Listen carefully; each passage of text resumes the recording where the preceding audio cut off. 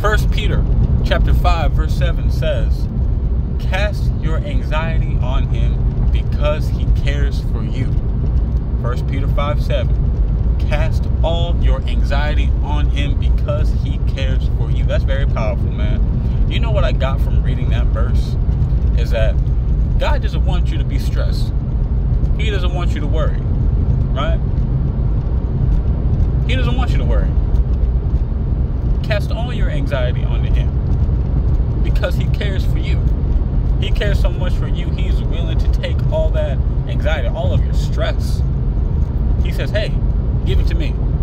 Right? And I think as Christians, or as humans, basically, we think that we're superhuman. We think that we can just do it all. We tell God, you know what, God, it's okay, I got this. I got this, man. When in reality, we don't. We're falling apart.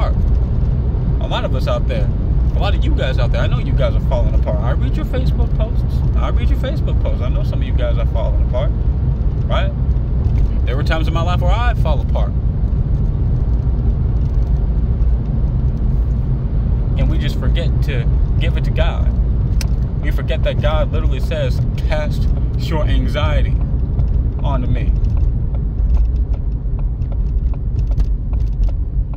Right? We're not superhumans. I know about you guys, but the only superhuman I know is Jesus Christ. He's the only superhuman that I know, man. How many of you guys know somebody? How many of you guys know somebody who died on a cross, was in a tomb for three days and rose again? I only know one person like that. His name is Jesus, bro.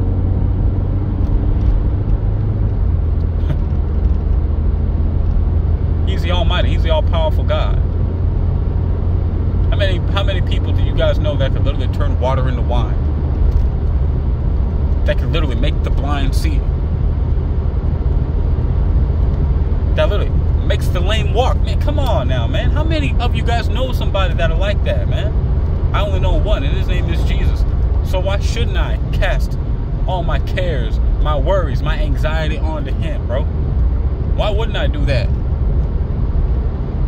He wants you to go to him, man. The last thing you should do, the last thing you should ever do is turn to God and say, you know what, God, I got this. Because in reality, you don't. We don't. We're nothing without it, man.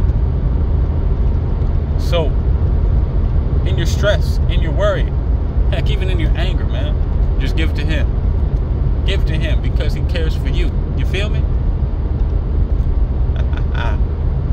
anyway, that's the word of the day. Like, comment, subscribe wherever you guys are watching this. Uh, if you're watching this on TikTok, I already told you guys, man, I ain't afraid of you on TikTok, man. I'm not afraid. I know how you guys get down over there.